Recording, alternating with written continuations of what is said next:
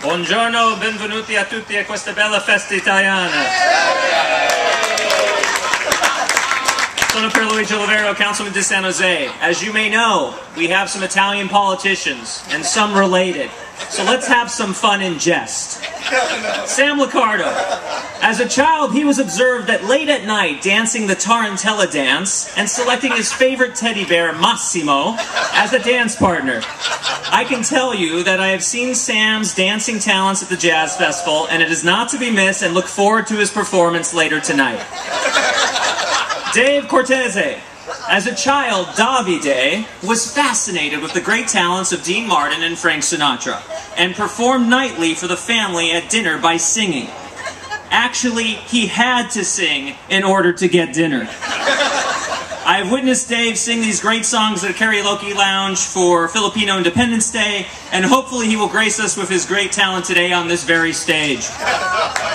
Mayor Reed, Italian by marriage.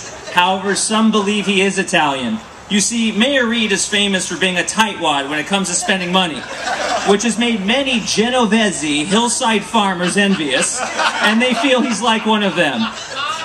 Pete McHugh, primo. Look at the size of this man.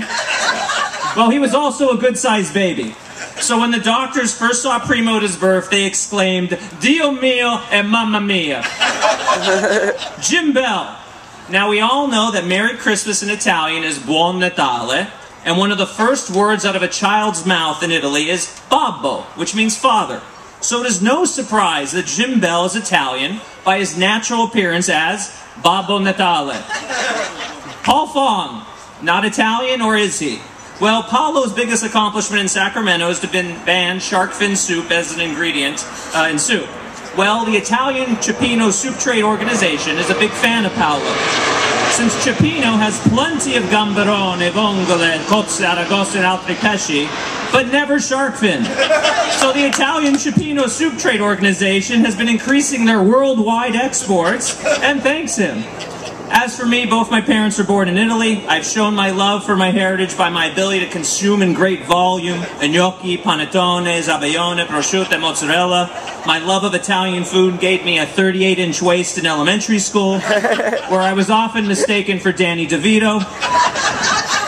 Lucky for me, I read Dante Alighieri's Divine Comedy and learned about the sin of gluttony.